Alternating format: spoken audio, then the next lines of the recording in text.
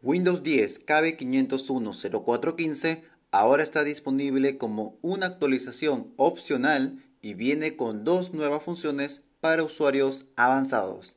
Así que dicho esto, comenzamos.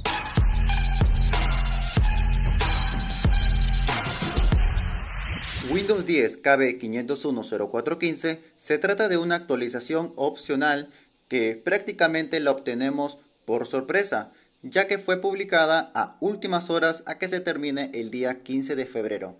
La actualización solo estará disponible para las versiones 20H2 en adelante. Por lo general es buena idea omitir las actualizaciones opcionales a menos que realmente necesites el parche para solucionar un problema aislado en tu sistema, mayormente provocado por la actualización pasada. Por lo general es buena idea omitir las actualizaciones opcionales a menos que realmente necesites el parche para solucionar un problema aislado en tu sistema, mayormente provocado por la actualización pasada.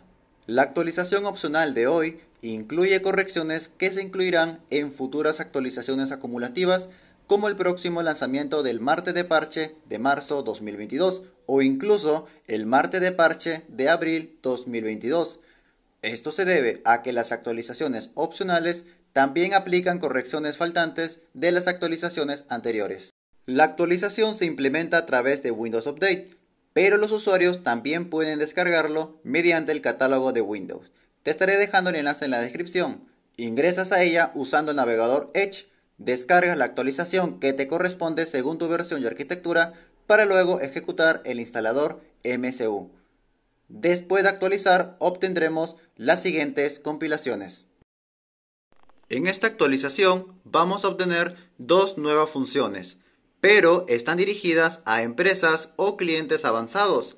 Según el registro de cambios, ahora puede compartir cookies entre el modo Microsoft Edge Internet Explorer y Microsoft Edge. Asimismo, Microsoft agregó soporte para la adición en caliente y la eliminación de memoria no volátil en VNMe. Bueno, esto vendría a ser el resumen de la actualización las dos nuevas funciones agregadas. El registro de cambios lo encontramos en la página oficial de las actualizaciones de Microsoft. El link te lo estaré dejando, como siempre, en la descripción. Pero bueno, para mencionarte tan solo algunas, para las empresas hay varias correcciones de errores. Por ejemplo, en esta actualización se ha solucionado un problema por el cual Windows Server 2016 deja de responder cuando se ejecuta un servidor de terminal que usa cierto VDI. VDI, según sus siglas, es la infraestructura de escritorio virtual.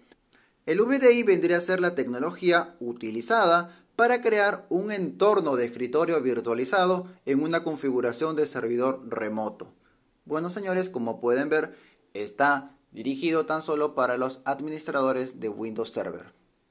Según las notas de la versión, Microsoft solucionó un problema que afecta la búsqueda de Windows y ocurre cuando los usuarios prueban la función de operador de proximidad. Se solucionó otro error en el que un módulo DLL provocaba una fuga de memoria debido a falsas alarmas en System Center Operation Manager. Microsoft también ha solucionado un problema por el cual los usuarios encuentran un mensaje de error cuando buscan un dominio o una unidad organizativa.